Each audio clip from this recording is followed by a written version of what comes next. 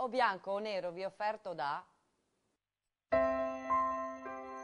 Basta una notte in un Falkensteiner Hotel per rilassarsi, tre per ricaricarsi, sette per rigenerarsi. Pensa a te. Benvenuto a casa.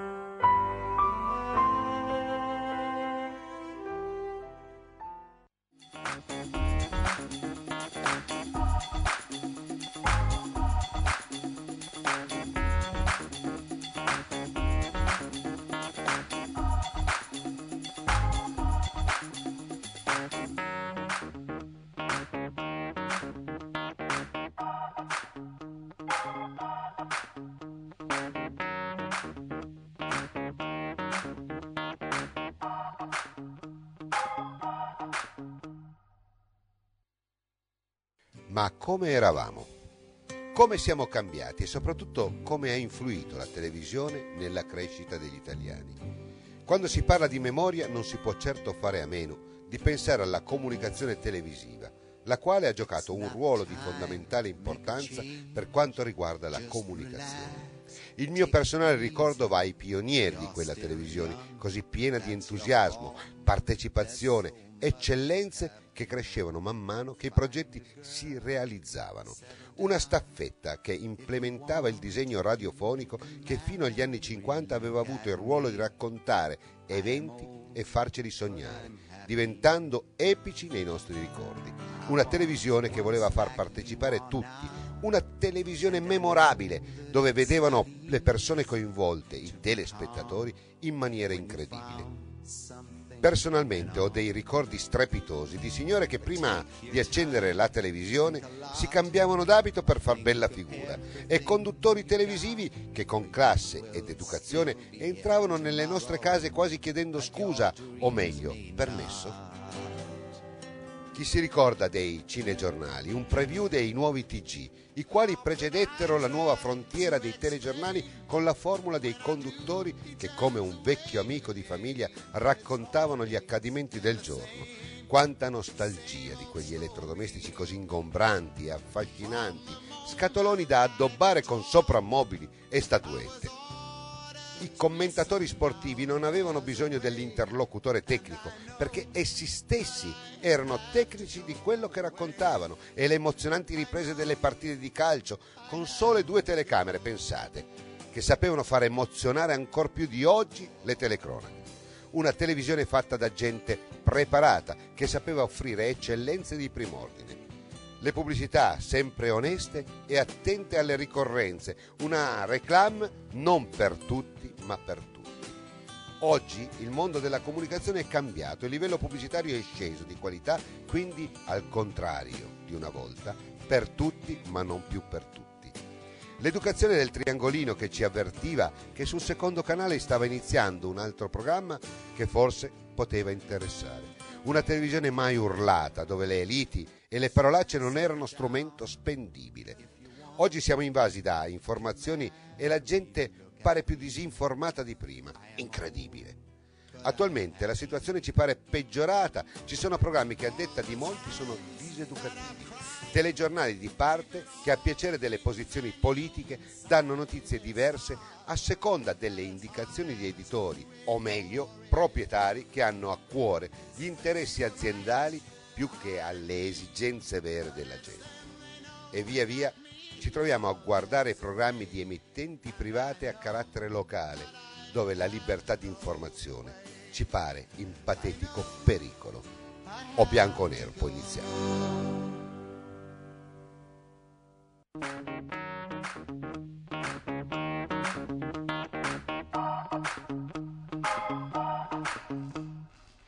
Buonasera a tutti e così iniziamo. Oggi abbiamo un partito veramente incredibile anche perché insomma sorgono in me dei ricordi eccezionali.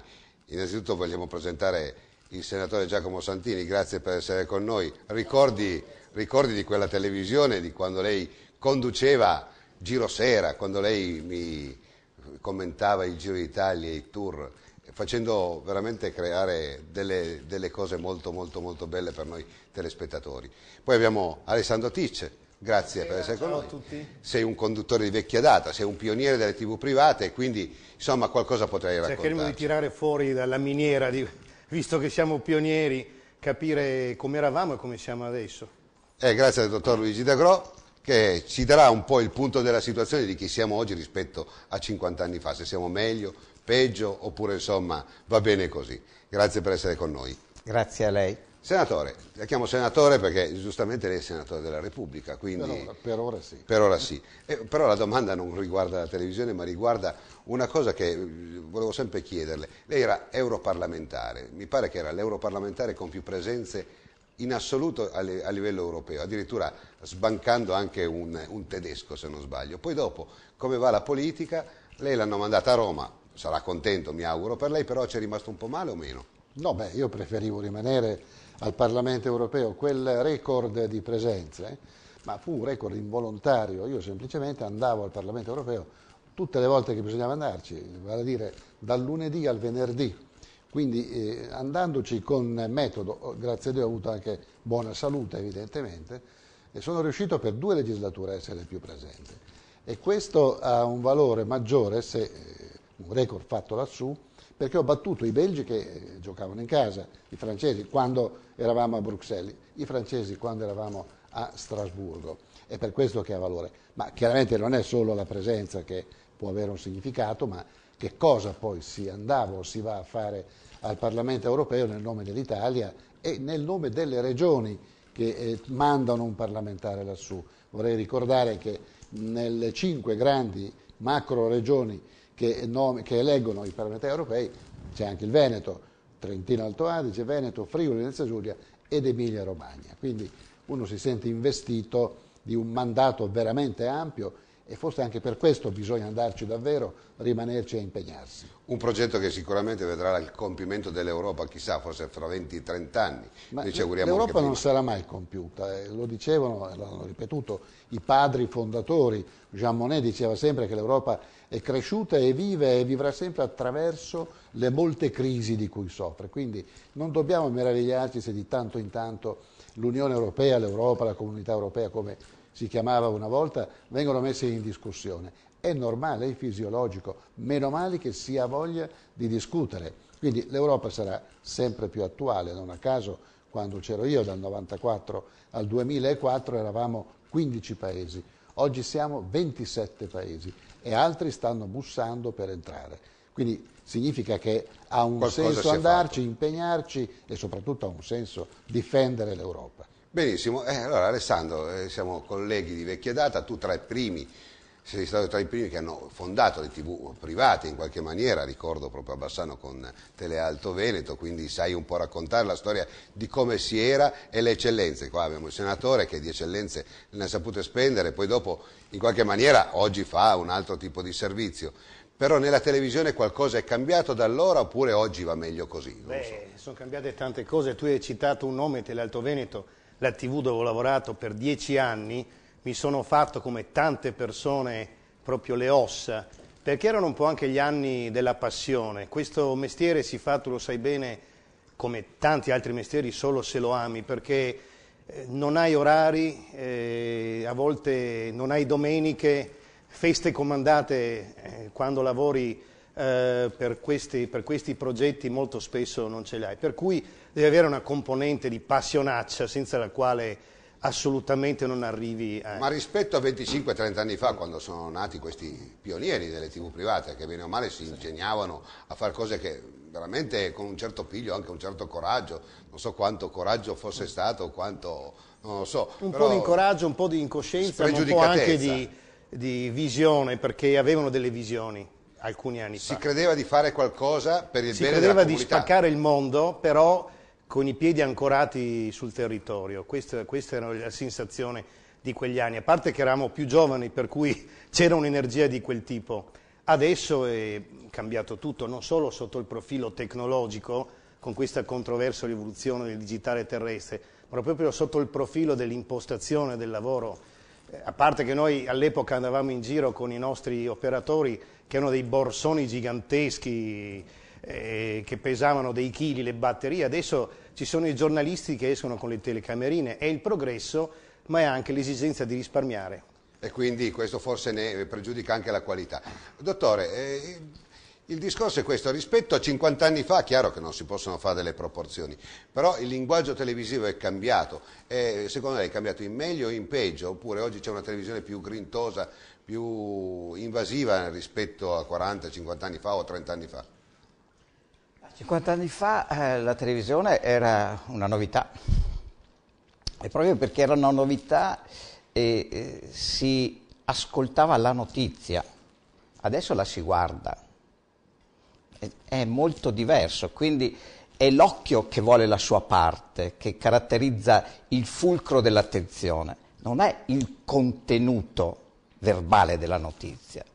Non si comprende la notizia, si vede l'immagine tanto che poi ci sono dei falsi stratosferici addirittura portati a livello eh, mondiale. Ricordo la guerra del Golfo del Cormorano, eh, non fu assolutamente mai identificabile con la realtà dell'Iraq, eh, fu fatta da, è tratta da una spiaggia australiana. Però voglio dire, è capitato che eh, si sono si sono modificati non soltanto gli occhi, ma anche gli interessi del, del mondo della notizia. Gli editori mm, erano quelli pubblici, oggi sono gli editori privati. Eh, gli editori privati giocano il, il processo sulla notizia ma anche la possibilità che tramite una televisione, non solo di tiratura nazionale, commerciale nazionale, ma anche locale, ci sia prestigio per l'editore, capacità di infondere quindi sull'opinione pubblica territoriale un proprio primato, un proprio peso. Quindi, se mi permette, non è più la televisione che informa, ma la televisione che diventa per l'editore un potentato, una voglia di in qualche modo scalfire altri interessi. Eh, senatore, oggi vediamo che in pratica chi si gioca la partita sono le tre reti RAI, chiaramente poi dopo le altre tre media, Mediaset che in qualche maniera hanno un po' il monopolio, poi ci sono le tv commerciali che in qualche maniera cercano di tirare sera, poi ne affronteremo con Tici in quale misura e, e in che forma. Rispetto però a una volta c'erano eccellenze, Sul, sull'apertura si diceva una televisione non per tutti, perché chi poteva fare televisione aveva bisogno di spendere eccellenze e grandi professionalità, però era dedicata a un mondo per tutti, cioè per tutti coloro che in qualche maniera erano i consumatori ed erano anche coloro che dovevano fruire delle informazioni. Io credo che questo sia un po' cambiato rispetto a una volta. Ma io penso che ogni epoca abbia la televisione che si merita, eh, ma più che di televisione parlerei di informazione radiotelevisiva, come si dice in gergo, informazione della stampa elettronica eh, se pensiamo alle origini diciamo, del, della radio della televisione, eh, diciamo che c'era anche un pubblico molto più curioso, come diceva il dottor D'Agro, molto più eh, timido, disposto ad ascoltare, a mettersi in posizione per appunto apprendere ad ascoltare. Oggi c'è una interattività, come si dice in gergo, fin troppo evidente. Ogni epoca, dicevo, ha la televisione che si merita. Beh, evidentemente una volta eravamo persone più moderate, tranquille, forse anche un po' più titubanti nell'affrontare un microfono. Oggi, se non glielo porgi, te lo strappano il microfono.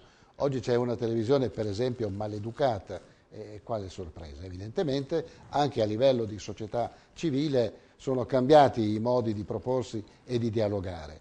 Io tra, cominciai a fare radio, era nel 66, alla RAI di Trento, c'era ancora più radio che televisione non dimentichiamo che la TV regionale eh, fu introdotta nel 79 dalla RAI, quindi il vero confronto fra le televisioni private di allora e le televisioni RAI fu con la terza rete, incominciò lì.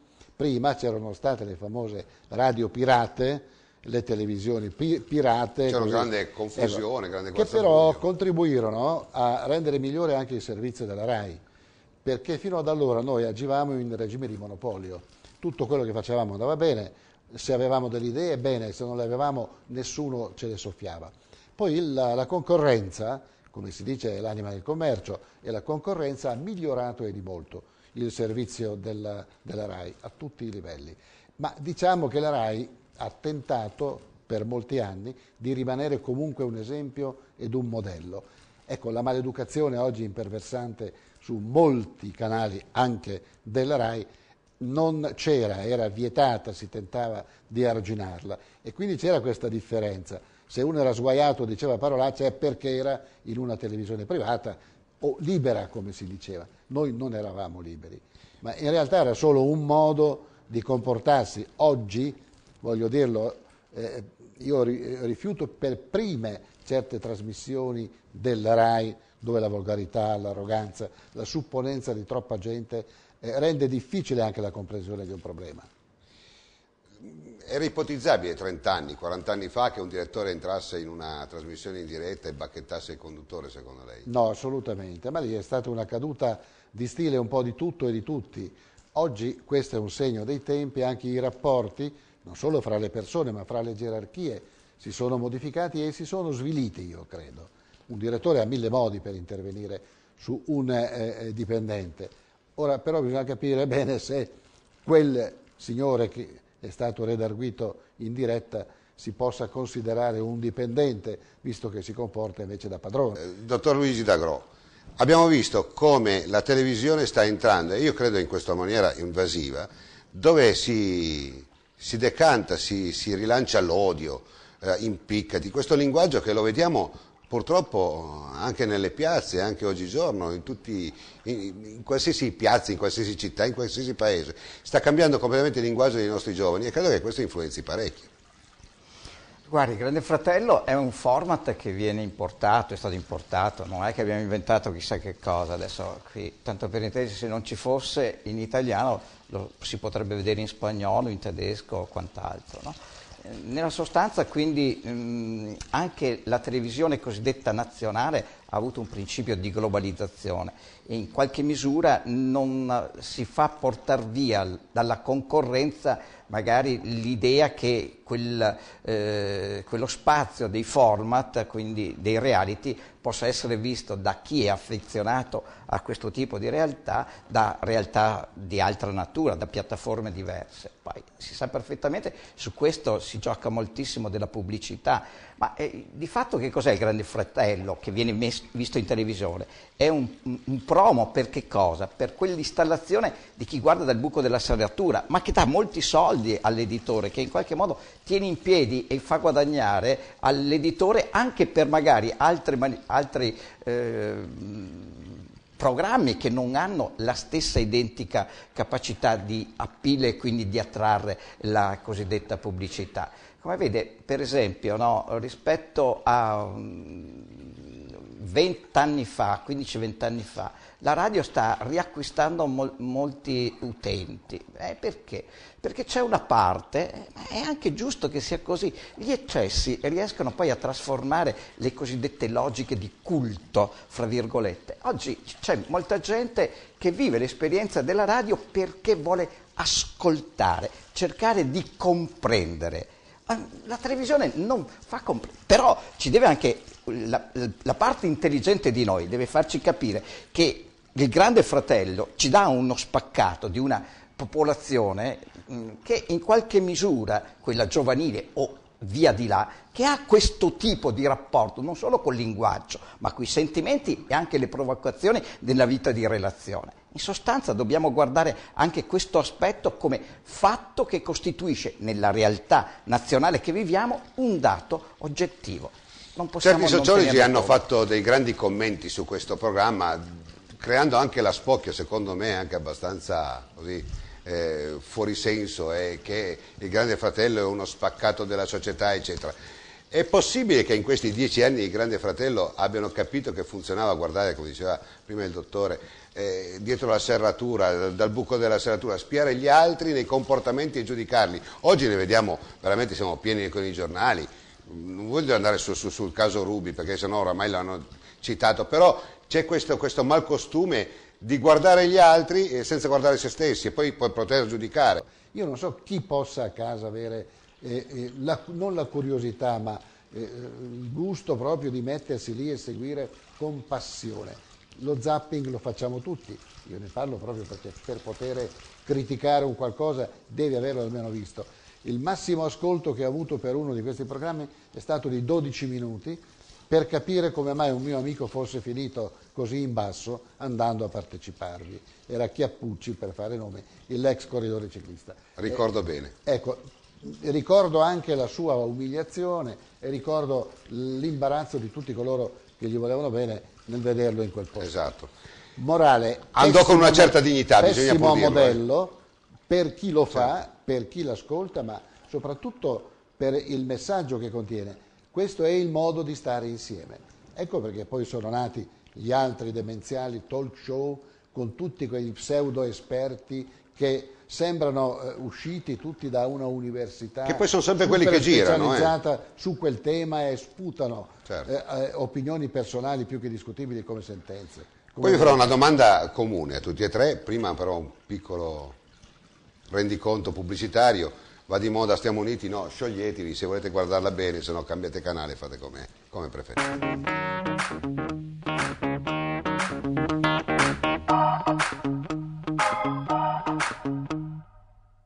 Brink, negozio specializzato in cartucce per stampanti, carte comuni e speciali.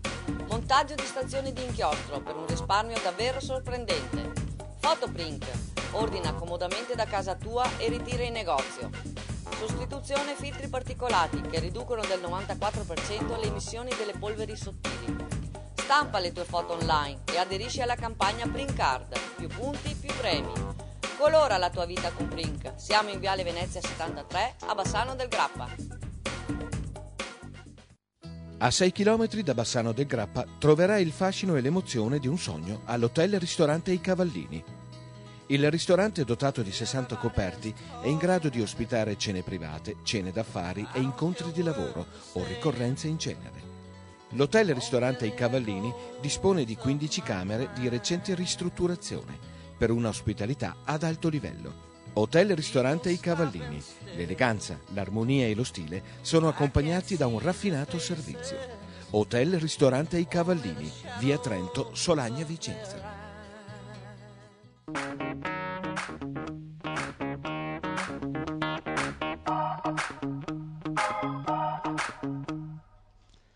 Beh, intanto ci è arrivata la comunicazione che il Milan, insomma, in qualche maniera sta vincendo a San Siro, quindi, eh, insomma, Tra noi è contento. Eh, Ma altri no Non però, insomma, eh, io sono interista per cui voglio dire, insomma, in qualche maniera. Vabbè, domanda congiunta era, eh, dopo questa espressione che abbiamo potuto tutti comunemente vedere, eh, mi viene in mente una fatidica frase che si usava in tempo di Tangentopoli, busta che ti sarà aperto, eh, dice, tutto naviga intorno ai soldi, sia che siano emittenti di un certo livello, e sia che poi dopo andiamo anche su emittenti private come la nostra, che si devono guadagnare il pane con le centinaia di eh, telespettatori. Insomma, noi saremmo contenti di poter fare 100.000. È sempre ma stato l'elemento centrale dell'attività televisiva.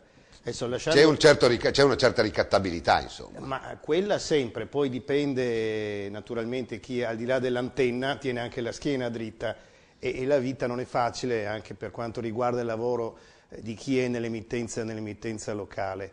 Un appunto su- sui reality, eh, anch'io come senatore non li guardo ma non li sottovaluto perché ho notato la moltitudine di ragazzi che ad esempio anche qua nel nostro territorio fanno le selezioni, forse per questo lavaggio del cervello, ma il rischio qual è? Che eh, a causa del reality la loro vita diventi una fiction, questo è il grande, il grande rischio, mentre un altro format nazionale che ritengo eh, se non migliore, perlomeno più interessante, è quello di talent show. Là perlomeno Devono devono, devono mettersi in gioco e non urlare.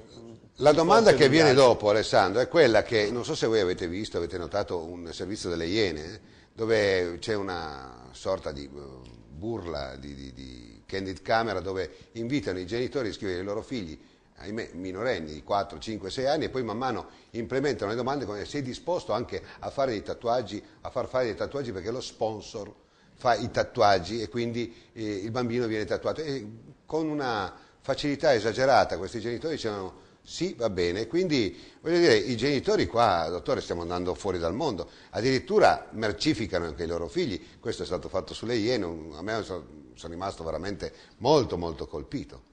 Sì, ma perché lei non è colpito da quello che succede nel mondo del calcio, del ciclismo o quant'altro? I genitori che sono pronti a far di tutto perché il figlio diventi un Chiappucci, visto che l'abbiamo evocato prima, o un Maradona. Così, perché qui se no viviamo nella logica di balocchi, siamo bravissimi, che bravi che siamo qui, ce la raccontiamo. Ma no, ma è così. Provi a sentire gli allenatori o comunque i direttori sportivi delle squadre ciclistiche, che invasione di campo c'è da parte dei genitori e che in qualche modo interpretano il lavoro, o meglio, le modalità con cui un tecnico lavora, una esclusione a priori del fatto che il figlio non sia il campione eh, perché? Io ricordo un ragazzo che mi ha, mi ha chiesto di eh, appoggiarlo per il grande fratello, e, ma è venuto col genitore. Gli ho domandato, ma per quale motivo vuoi andare al grande fratello? Mi ha, e mi ha ribadito che una compassata televisiva cambia la vita. Eh, vuol, vuol dire che sostanzialmente non è mica colpa loro, eh? attenzione perché qui continuiamo no? a buttare addosso a questi le responsabilità che sono di un sistema che si accavalla o che comunque si sedimenta ed è diventato un meccanismo propulsore di un'identità che diventa successo indipendentemente dallo sforzo che si fa. E, e questo è il grande tema, perché questo è un paese vecchio e privo di spirits? Perché per questo c'è la necessità di affrontare agguantare immediatamente quello che serve, agguantare quello che serve piuttosto che lavorare per qualcosa di molto più difficile ma che dà senso a se stessi. Mi viene in mente le frasi, basta che mi dai la Ferrari, il calcio e poi dopo il resto può andare a, a, a Ramengo. Ma il tema mi piace che l'abbia riportato su quello che poi dopo è la nostra tematica di giornata, è quella di come eravamo. Mi consento una cosa, per esempio, no? Eh, eh, ma si, si è guardato il format dei, dei, dei TG? Tre quarti è di cronaca. Non c'è, tanto per intenderci, nel palinsesto dei TG nessuna, nessuna piattaforma di politica estera. Questo dovremmo chiederlo al senatore. Soprattutto in questi ultimi tempi la politica estera tenga banco in tutti i TG quello... C'è, il caso, c'è, il caso, anche della sì, Libia. Appunto. Ah beh, sì, se capita la Libia, beh, capisco, eh, per carità. no, ma la politica estera è un altro modo, eh, attenzione. Cioè un paese come il nostro che viene comunque considerato entro le 12 nazioni dodicesimo posto come, eh, come, realtà industriale mondiale manifatturiera, di fatto gioca la partita, come fanno i telegiornali per esempio delle grandi potenze di, questo, di questa cosa, inquadrando sempre la notizia, anche per quanto ci riguarda, in un contesto di politica estera. Sì, ma io non Noi vorrei andare sul discorso politico, però senatore, eh, tanto per richiamarci a, questo, a questa espressione, sì, mi pare che la Libia sia diventata un problema minore, ma maggiore era il baciamano di, eh, di, di, Berlusconi e l'hanno confezionata ad hoc sì, questa cosa stavo qua. Stavo dicendo prima che eh, la cronaca si impone da sola, non è che il cronista o il giornalista possa ignorare quello certo. che la cronaca gli butta in faccia, è poi il modo di raccontarla che differenzia le diverse epoche, le diverse sensibilità, ma anche le emittenti. E questa storia sì, del baciamano che Berlusconi ha fatto a Che poi credo che sia qualcosa di normale, perché ma è stato più uno scherzo, un lazzo, una cosa certo. assolutamente non reverenziale. Ma per chi non come credesse... mai si tende ad evidenziare quello piuttosto dei 10.000 morti? No, ma per chi non credesse a questa veramente... versione, eh, non conosce Berlusconi, ma secondo voi Berlusconi è uno che si genuflette davanti a Gheddafi? Lo ha preso in giro con quel gesto, più che onorarlo, secondo me ma quello che volevo dire, la cronaca c'è, va interpretata e selezionata dal cronista. Dove il cronista è arbitro e purtroppo ultimamente non è, è al, al, di sopra di ogni peccato, è nel modo di proporla. E quei teatrini della politica che ormai vengono proposti da, dalla RAI, diversi canali, ma anche dalle emittenti private. Il, il metodo della battuta rapida, eh, poi della smentita e poi della controbattuta e poi questi mosaici incredibili che non fanno altro che accentuare il contrasto e non contribuiscono minimamente a chiarire il problema. Ma sarebbe meglio fare un'intervista di un minuto, un minuto e dieci, che Con calma, sembra giusto. poco ma è lunghissima, sì.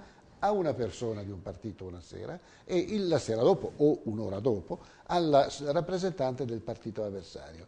In quel modo si capirebbero le differenze, le valutazioni. Ma Questo, ecco, è un metodo che qualcuno ha inventato e che oggi nessuno Oggi rie- funziona riesce così. più a sopprimere. Ecco, però voglio dire, eh, sulla copertina dicevamo prima che c'è una televisione ricca di informazioni, perché se guardiamo il panorama dell'informazione delle televisioni, insomma, tra Sky, Mediaset, Sì. insomma, ce n'è a La bizzeffe. grande libertà oggi è che c'è scelta. Sì, c'è scelta, però la gente sa meno di prima. Questo cos'è? Un enigma? Non sa Oppure tutti parlano la stessa lingua? non saprà è la scegliere. teoria, è la teoria che, che dice, ma, di trattati, che troppa informazione e nessuna verità.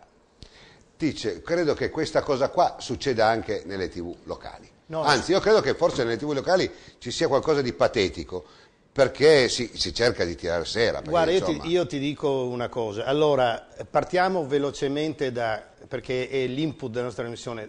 Vent'anni fa eh, si creava di più, erano altri tempi, perché si pensava prima all'idea e poi alla copertura finanziaria.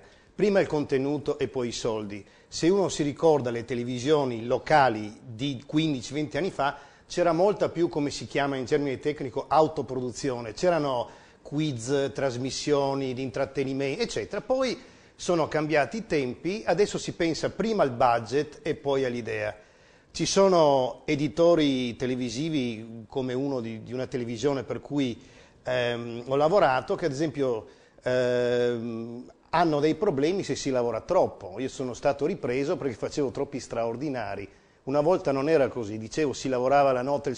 Questo perché c'è adesso il, il budget che, che preme sul collo di queste tv che appunto giocano volenti o nolenti a risparmio. Questo cosa vuol dire? Che oggi le tv locali sono appiattite sui telegiornali, che in realtà è, l'unica ragione per guardarle, se non per, al- per altre cose che però sono film di, eh, di serie B o altre cose che magari possono essere per appassionati ma non troppo. E allora ci sono adesso canali all news che però sono il- la riproposta in stile minestrone dei vari telegiornali. Una E sorta qua- di imitazione e- patetica. E qual è il problema? Se il telegiornale è buono, e ce ne sono i telegiornali buoni, la TV in generale è buona. Se il telegiornale è patetico, e ce ne sono i telegiornali patetici nel nostro territorio, ne risente anche l'immagine generale della televisione. La gente, senatore, si fa una domanda, visto che lei è vicino, diciamo così, a, a Palazzo, insomma, in qualche maniera vi confronterete tra senatori o parlamentari. E questa è una mia impressione che non vuol dire nulla, è una mia impressione come, come telespettatore. Prima l'abbiamo accennato, io vedo dei programmi tipo anche Anno Zero che è condotto in maniera magistrale, io sono convinto che Santoro sappia, è la televisione, lui sa cosa voglia dire fare la televisione come eccellenza, come eh, si pone, come sa mantenere il palco. Però credo che sia sotto gli occhi di tutti che ci sia una componente veramente quasi a volte eh, vessata, no? Contro, ehm, fanno parlare gente che a volte non sa neanche cosa dice del pubblico, ma pur di fomentare il populismo. E credo che questo sia antieducativo e ce ne vediamo tanti di queste trasmissioni, anche per, per la verità sulle reti Mediaset. Non è che tutti stanno, insomma, sono un po' appiattiti nel- più nell'informazione, più nel chiarimento, eccetera, nel fagocitare tante liti. Io sono rimasto profondamente giornalista e teleradiocronista nonostante i troppi anni di, di- di impegno politico. E allora ho valutato e sto valutando queste problematiche più da giornalista e sono quindi difensore della libertà di stampa in senso lato, dell'autonomia anche di molti conduttori, della- del diritto di certe trasmissioni di impostare anche i temi in maniera provocatoria. Ma io dico francamente, e faccio nome e cognome, quello che fa Santoro, non l'ha mai fatto nessuno, in nessuna televisione privata o pubblica. Lui è veramente diventato il padrone di uno spicchio di televisione e oggi sta forzando ancora di più questo rapporto con la dirigenza. Oggi per caso c'è una dirigenza orientata, non tutta perché il Presidente non è certo di centrodestra, ma orientata verso il centrodestra. Santoro farebbe la stessa cosa se ci fosse la parte opposta alla dirigenza. La sua è una sfida personale. Vi ricordate quando nella trasmissione di Celentano, non mi ricordo come si chiamasse, disse eh, io voglio il mio microfono.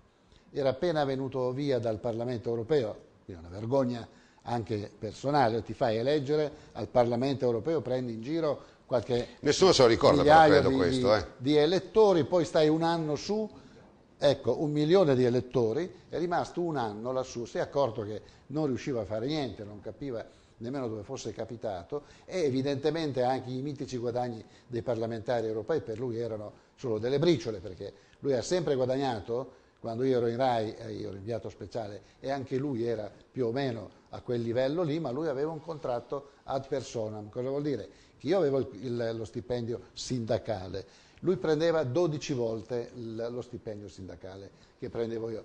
Ecco, lui è rimasto a quel livello, non è l'unico. Un buon manager di non se è stesso. l'unico. E quindi quando lui si pone in Molta una sua. sfida con la dirigenza, eh, non fa che eh, caricare ancora di più di importanza il suo ruolo. Voglio il mio microfono, eh, disse quella volta, ma nessuno di noi ha mai avuto un suo microfono. Ha avuto i microfoni che la RAI metteva a disposizione in base alla tua idea, al valore che poteva avere la tua trasmissione. Ecco, quello è un cattivo esempio di conduzione, non è un esempio di libertà di stampa, a parte poi i vari maneggi che sono talmente evidenti che anche chi è orientato politicamente verso quella, quella conduzione li capisce. Anche il pubblico, come vedete, raramente non è selezionato per ottenere un certo tipo di risposta. Questo non è giornalismo. Questo. Alessandro, dice una cosa anche interessante. Gli, anche gli ospiti vengono scelti in maniera scientifica per poter arrivare a determinate conclusioni. Beh, noi non sappiamo tutte queste alchimie perché dobbiamo stare Ma è- attenti è evidente, a casa nostra, seguire. siamo una piccola piazza, come dicevi prima te, bisogna prima noi creiamo il progetto, poi dopo se Dio ci vuole bene, insomma qualcuno pensa potremmo continuare, ma è è una grande difficoltà. Questa dei soldi, posso aggiungere una cosa, mi ha fatto venire in mente il momento attuale in Parlamento. Lui diceva, eh, più che chiederti se l'idea è buona, ti chiedono se c'è uno sponsor per pagarla. Oggi, eh, D'Agro ha fatto il parlamentare prima di me, in ogni proposta di legge, in ogni dibattito, eh, eh, tu presenti un emendamento, un- l'idea di una legge nuova, non ti chiedono che cosa tu voglia raggiungere o se quella legge sia L'ideale. condivisa, ti dicono purché sia in, in invarianza di bilancio. La parola magica è invarianza di bilancio, che vuol dire purché non costi nulla. E, e come fai a produrre idee nuove, buone, che producono effetti positivi senza avere un costo di qualche tipo? Parliamo di televisione, torniamo all'argomento principale. Allora, riferendosi alle grandi emittenti, ma soprattutto alle piccole emittenti che comunque coprono un bel PIL, insomma, in- se no. guardiamo in Italia, insomma, ce ne sono È molti una realtà importantissima. Importantissima e anche un po' deprezzata. Ma lo sputtanamento paga, lo sputtanamento tra ospiti, eh, il linguaggio, diciamo ma così, di alla fine, alla fine può pagare superficialmente, ma noi a volte ci dimentichiamo che il pubblico non è così, tra virgolette, stupido come qualcuno vorrebbe pensare. Condivido in pieno questo. Assolutamente. Può cascarci una volta, ma poi vieni sgammato subito. Soprattutto se tra chi fa televisione e chi sta dall'altra parte del teleschermo si forma un, un rapporto, un feeling quotidiano, eccetera, eh, non puoi tradirli più di tanto. Se poi lo fai ti tagliano le gambe. Mi date 30 secondi di pubblicità? Allora dicono i nostri telespettatori. altro, eh. State sciolti. stiamo, stiamo sciolti.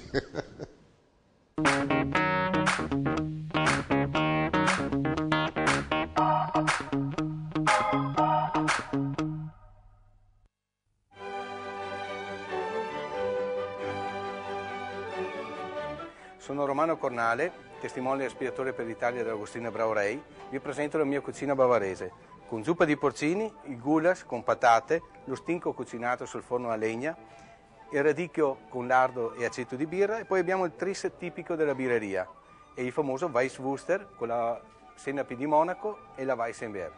E per finire i dessert con la sacher e la torta di ricotta. E il tutto accompagnato con l'Augustiner di Monaco.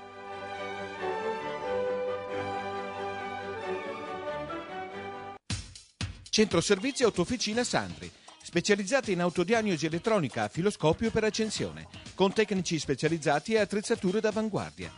È in grado di offrire servizi per il mantenimento dei perfetti livelli di sicurezza e di funzionalità del vostro autoveicolo. Autofficina Sandri la trovi a Belvedere di Tezze sul Brenta. Centro Revisione e Officina Sandri. La puoi trovare anche a Bassano del Grappa in via Schio 5, laterale di via Pecori Giraldi.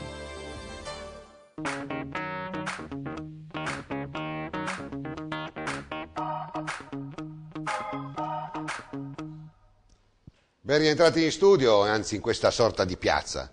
Allora, eh, si parlava prima di come siamo cambiati, eh, dottor Luigi D'Agro.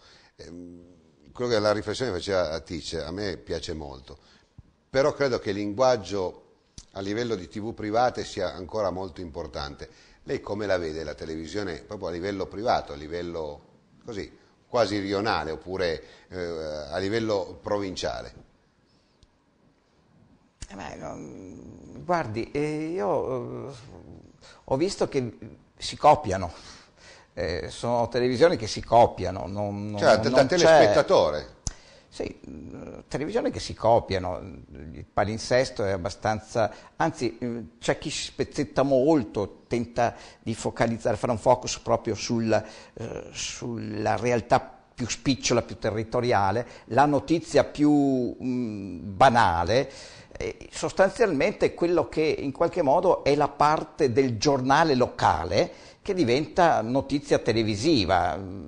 Poi eh, è una ripetizione di qualcosa che insomma, eh, continui a cambiare per cercare eh, di trovare magari ecco, un uh, sito di approfondimento o comunque quel qualcosa che ti interessi, faccia interessare l'opinione pubblica su quella realtà che riguarda la regione o la politica eh, locale, le amministrative, ma anche il tentativo di focalizzare su un problema importante che abbia attinenza con l'infrastrutturazione, per esempio, sul, sul, tema della mobilità e quant'altro, sempre legati a, a, logiche di interessi con il territorio, la possibilità di sentirsi in qualche modo nello, con l'occasione del giorno dopo di poter dirla propria al bar.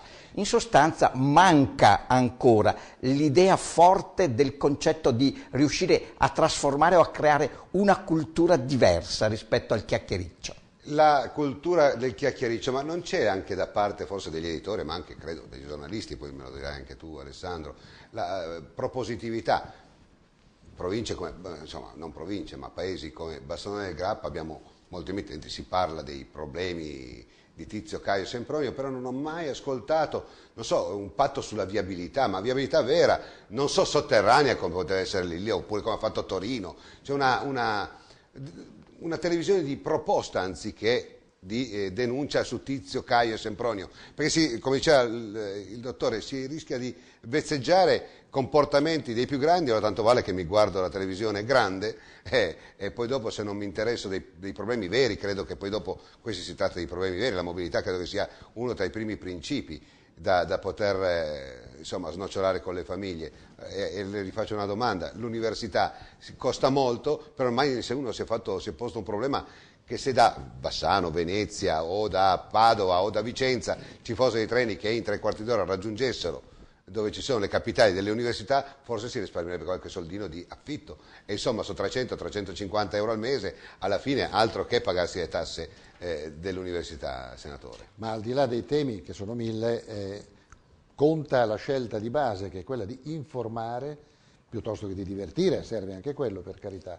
Eh, io da uomo RAI, 30 anni RAI, non mi vergogno a dire viva le tv private, meno male che sono arrivate, per due ragioni. La prima l'ho spiegata in precedenza, ha stimolato noi che eravamo un po' assopiti nel nostro eh, guscio monopolistico, eravamo tr- troppo tranquilli, ha stimolato noi a fare meglio, a fare di più. E soprattutto però ha contribuito a eh, polverizzare informazione, a eh, mettere radici anche negli angoli più lontani e qui però sta la maturità e la capacità professionale di chi poi va a lavorare in queste televisioni private e sfruttare questo secondo importante ruolo. Chiaro che la RAI, anche la RAI 3, quella regionale, non può arrivare dappertutto, non può coprire tutte le esigenze del paese, del sobborgo e così via. E questo è un ruolo che le tv private invece debbono assorbire, un ruolo complementare più che in concorrenza con la RAI o anche più che in concorrenza fra loro. Io abito in Trentino, abbiamo certo. un paio di televisioni molto agguerrite, devo dire che fortunatamente c'è anche un livello giornalistico buono, professionisti, io credo anche, non sono andato a vedere nelle buste paga, ma credo che vi siano contratti regolari. Contratti regolari giornalistici. Questo lo dico perché contribuisce a creare stabilità, qualità del lavoro e responsabilità anche. Io ti assumo, ti do lo stipendio da giornalista, ma mi devi dare un E programma. lo spendono in maniera molto intelligente, io vedo Teletrentino Esatto. per cui so cosa dice. E, e queste sono pienamente televisioni d'accordo. che vanno sul territorio. Esatto. Non, non si occupano più di tanto della parte nazionale. Alessandro dice una cosa interessante, in Trentino è, è un- un'oasi, io sono- ho visto i campionati italiani eh, di ciclismo su pista, sono rimasto folgorato, anzi strafolgorato, il tricolore dappertutto, eravamo a Mori, quindi contraddizioni esagerate, anche l'informazione qua paga dazio. La televisione che vorresti oppure l'informazione che vorresti nel territorio quale sarebbe? Nei tuoi sogni, se te lo permettessero mai Eh, domani farlo. I have a dream. Eh. Ecco. Una televisione che mi permetta di fare denunce, di fare proposte, denunce proposta, senza avere l'assillo di dovermi giustificare con qualcuno. Perché poi si rischia di parlare male di qualcuno che Certo, la denuncia è più facile perché ovviamente l'albero che cade fa più rumore della foresta che cresce, è più popolare, è più vista, fa più pubblico. La proposta è più difficile perché sia nella denuncia che nella proposta devi comunque stare attento, chiunque a un certo punto non andare contro gli interessi del tuo editore. Quando hai un editore, giustamente, ti dà il lavoro, rispetti la sua posizione, ma devi anche non andare contro i suoi interessi. Io ti dico una cosa, io adesso ho lasciato la televisione momentaneamente e lavoro sul web, Bassano.net è un portale di Bassano, dove sto respirando quell'area di libertà che sentivo vent'anni fa in tv. Un'altra fase pionieristica, quella del web, io credo moltissimo nel web. Certo, ci sono i primi embrioni di web TV. Attenzione perché negli Stati Uniti la web TV sta soppiantando la TV via cavo o digitale che dir si voglia. Noi seguiamo dieci anni dopo, ma attenzione. C'è un po' di tutto dentro, bisogna anche dire la verità. Certamente. Eh, dottor Luigi De Grosso, siamo quasi in conclusione, però se si parla di mobilità, a me piacerebbe poi fare un'intera puntata, ma anzi molte più, perché se si parla di mobilità eh, c'è una scienza. Cioè lo spostamento dell'uomo bisogna che cominci, cominci a far riflettere che è cambiato. Allora, se si parla della, della Gelmini con la riforma che ha tanto fatto discutere, però credo che il, il discorso sia a, a monte, dei passaggi più veloci, degli- dei, dei termini di partenza arrivi certi, in tre quarti d'ora si può arrivare un po' dappertutto. La penisola italiana fortunatamente è stretta ed è servita anche notevolmente nelle grandi città con le università. Si toglierebbe veramente molto, mol- molte spese per coloro che non se le possono permettere. Ma guardi, eh, se per esempio si deve fare un, mm, un atto di denuncia, di informazione, è quello di, che molte volte la cultura eh, della popolazione ha scambiato la qualità con la comodità. Eh, stiamo pensando per esempio a che cosa ha significato il taglio di sedi ospedalieri, ma probabilmente se guardiamo bene anche da queste parti dovremmo comunque cominciare a guardare eh, con il compasso che cosa vuol dire nell'arco di 10 chilometri e cominciare eh, a ragionare su questo. È chiaro che eh, questo significa anche mettere in rete la popolazione con eh, il- luogo sta- dove si può curare lo stato di necessità. Ma vorrei ricordare per esempio che cosa è stata la delocalizzazione dell'università. Eh, Bassano stessa aspirava ad essere un luogo e sede universitaria. Ecco, L'esperienza di Feltre è sintomatica, però abbiamo sottratto molte risorse, per esempio, a che cosa? Alla ricerca o comunque all'eccellenza, per avvicinare invece eh, i cosiddetti ragazzi alla porta di casa. Ma, insomma, è chiaro, il tema dei, dei servizi e della- dello spostamento ha un grande valore in relazione anche a- alla spesa per quanto riguarda poi la residenzialità. Su questo non c'è ombra di dubbio. Sto pensando a Bassano, che è a metà strada fra Trento e Venezia. Nella sostanza un punto, due poli di riferimento universitario di eccellenza. Bassano potrebbe scegliere effettivamente, è che arrivare a Trento in treno è un, è un po' lunghetta, lo è lunga anche arrivare a Venezia, ma mi sto domandando perché su queste cose non si investa, perché per esempio non si apre un dibattito televisivo coinvolgendo anche le televisioni del, del, Trentino su questo, una capacità di scambio, di osmosi su un problema così delicato. Voi avete le conoscenze, mandateci qua in piazza, noi siamo ben lieti di occuparcene. Siamo proprio in chiusura, dice una cosa interessante, però io eh, volevo contraddirla sul discorso della RAI. Una volta in RAI c'erano delle pubblicità, e qua chiudiamo, che si ricordavano ancora degli avvenimenti, oppure delle ricorrenze come la festa del papà in quelle pubblicità dove erano veramente delle pubblicità, credo, educate. Oggi questo non succede più e credo che forse in questo la RAI dovrebbe ri- ricapitolare, riappropriarsi del, del, del, suo background, che era un background di, di, di grandi eccellenze. Beh, la pubblicità meriterebbe una, un dibattito di un'ora, in quanto essa stessa modifica e soprattutto condiziona il gusto della gente, ma anche il modo di esprimersi della gente.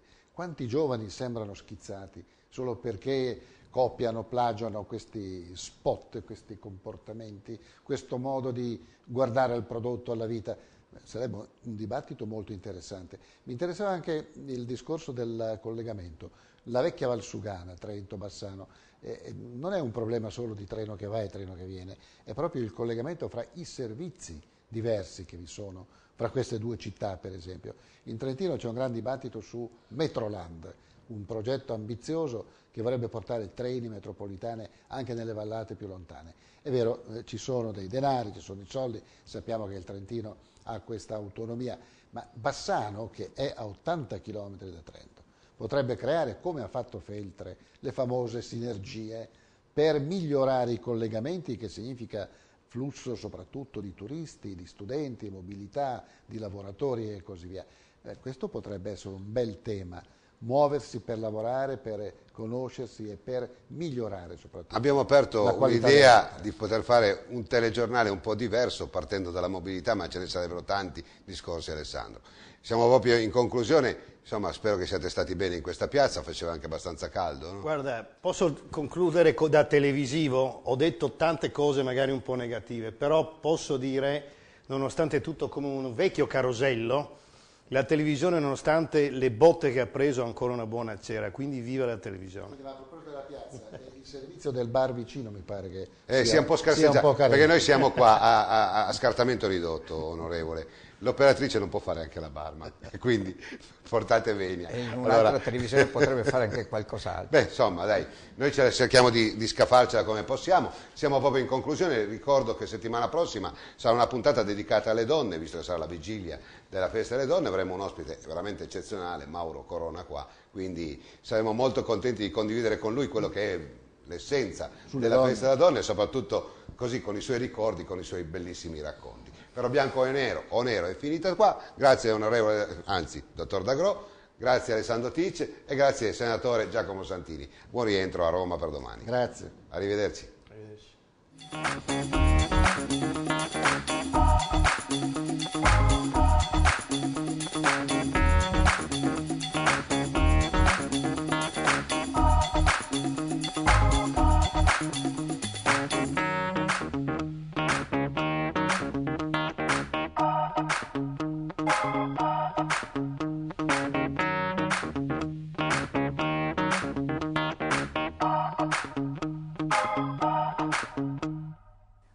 Bianco o nero vi è stato offerto da... Basta una notte in un Falkensteiner Hotel per rilassarsi, tre per ricaricarsi, sette per rigenerarsi. Pensa a te. Benvenuto a casa.